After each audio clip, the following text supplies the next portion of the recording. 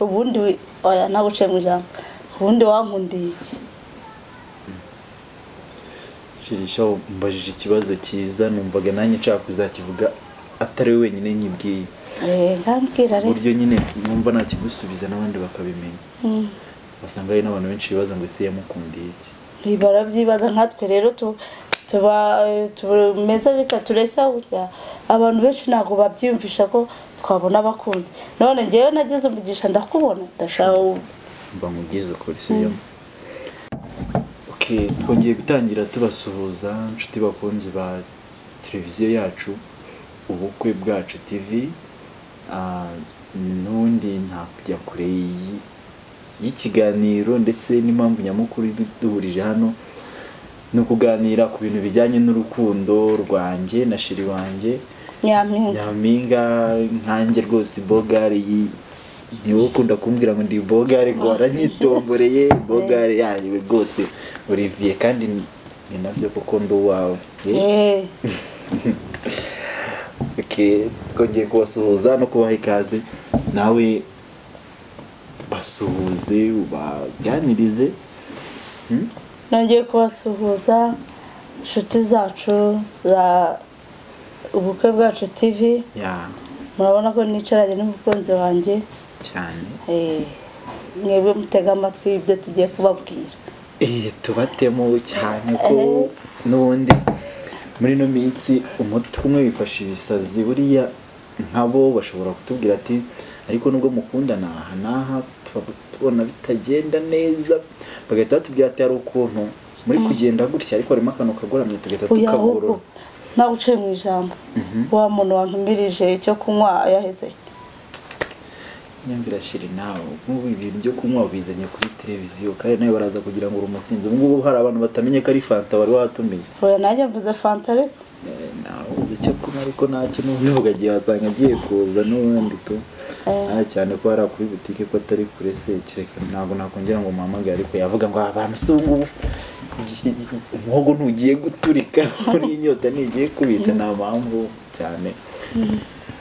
Ariko shirinde kumva ngewe nanisonze simvuyemo simvuye mu gikoni buriya mvuye mu gikoni ibiryo bigiye gushya ko nyine umugabo nyine yatagize ukuntu ikimasa baracyahirira neza bakagiha nyine n'urukingo ru- rutuma nyine ki- kimera fureshi uya wa mukobwa ari koza umwana araje. Nibimara gushya namubwiye ngo ansange muri salo ambwire njye gutegura ameza nyine mu kanya turaza kujyana ari kuri jaride nshaka kujya ku- gasiporo ho gatoya basi ndumva nshaka gushyuhamo ukuntu ndumva nshaka gushyuhamo ukuntu nyine nshaka ko tujyana kuri jaride nyine nkagira akantu nikorera. Akahe? Ujya guterura rutere oya ni utuntu twanjye ni udufiyeri dutoya ndaza kukwereka. Eh ubwo uratunyereka mba sheri Karame. mbere yo kumbwira ngo ugiye gukora siporo ngo muri jaride ikiganiro twaje kubwira abakunzi bacu siko bari ba- bamaze ba- igihe bafite amatsiko yo kumenya aho tugeze. Ubundi oya nawe uciye mu ijambo. Ubundi wankundiye iki? Shirisha mbajije ikibazo cyiza numvaga nanjye nshaka kuzakivuga atari we wenyine nyibwiye eh uburyo nyine numva nakigusubiza n'abandi bakabimenya. Mm. basanga hari n'abantu benshi bibaza ngo ese yamukundiye iki? Barabyibaza nkatwe rero tu- tuba tumeze gutya tureshya gutya. Abantu benshi ntabwo babyiyumvisha ko twabona abakunzi. None ngewe nagize umugisha ndakubona ndashaka mba nkubwiza ukuri sibyo nanjye icyo kibazo basi wumva ngo njya nkibaza njya nkureba nkakwitegereza nkibaza ibintu byinshi nkavuga ese ariko buriya hari ikindi kintu baza njya nibaza. Izuba iyo ri- iyo rirashe riba rivuye he? Cyangwa iyo rirenze rijya hehe ngewe nzi ko izuba iyo rirashe riba riturutse mu kirere. Ariko aho rirengera ntaho nzi. Riba riturutse mu kirere. Mm. ariko niryo bucya rikagaruka. Eh, rero nk'uko izuba ngiye mba ntazi ahantu rituruka iyo rije nkabona sinzi aho rirengeye iyo rigiye n'urukundo ngukunda sinzi ahantu ruturuka gusa ko rurahambaye mm. ariko ndibaza nanjye icyo kibazo mbajije njya nkibaza Mm. nibaza se buriya nyampinga yankundiye iki basi njyewe nagukundiye umutima mwiza. Uko waje urabizi ko ukimbwira ko nkunda nakubaje ati se ntabwo wabanje kureba abandi bakobwa bandusha uburebure bandusha ubwiza mbese ntabwo urambwira ati hoya ntabwo nagendeye ku burebure sinagendeye ku nakunze wowe gusa. Kiri nyine wumve ngo ntabwo wakumva ukuntu unyubaka. Mm. none se shire Mm. hari akabazo njya nkwibazaho kuma mbona bitewe n'ukuntu uri asosiyabure njya nibaza buriya shiri akunda nko kurya iki? Mu buzima busanzwe nyine ni icyo akunda cyane kurusha ibindi. Ngenda. Njyewe nkunda makaroni irimo viyande hashi. Nkakunda umugati n'icyayi. Umugati usize bureba shiri na nombe n'umubwire Mm. uza akantu uza akantu ndagukorera mu gitondo se? Eh.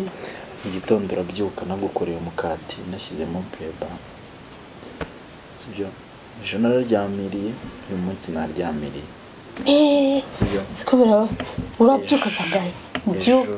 Ndava muri dushe byo wabirangije ejo uzava muri dushe.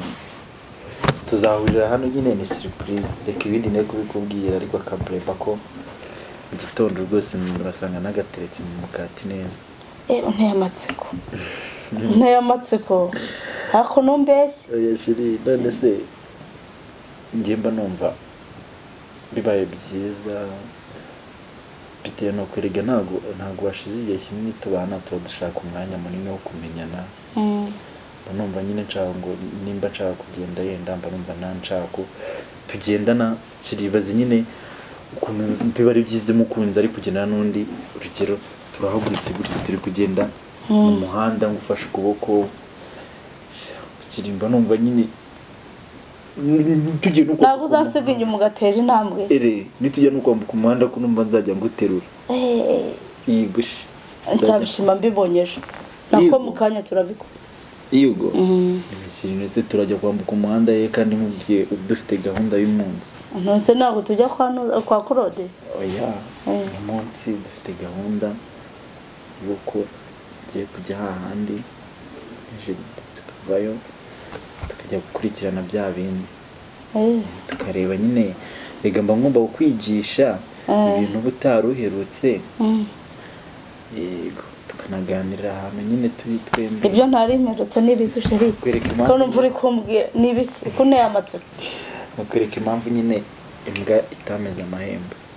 Eh, uwo ni umugani ntabwo nkusi indwara nyine ntabwo uzi. ntawe mukecuru yambwiye urawihimbiye?